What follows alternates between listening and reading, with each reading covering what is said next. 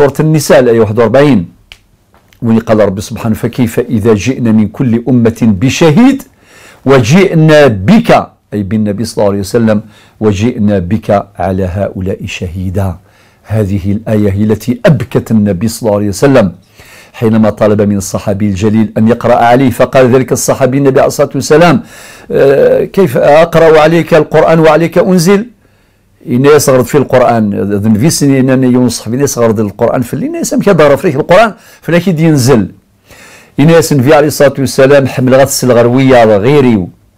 الغروايض الناس أحب أن أسمعه من غيري. فبدأ يتلو من سورة النساء من أولها يا أيها الناس اتقوا ربكم الذي خلقكم من نفس واحدة. إلى أن يقول إلى أن وصل أي 41 قرأ قوله تعالى فكيف إذا جئنا من كل أمة بشهيد وجئنا بك على هؤلاء شهيدا. ذاك النبي عليه الصلاة والسلام يسحسبك يعني توقف. الصحابي الجليل. إنك ولا غذ من في عليه الصلاة والسلام. إنك وإذا عيناه تذرفان الدموع. يعني يتسلو. خاطر النبي عليه الصلاة والسلام مكتاد هذا الموقف الجلل. هذا الموقف. حينما يحضر كل نبي ويشهد لقومه أو على قومه.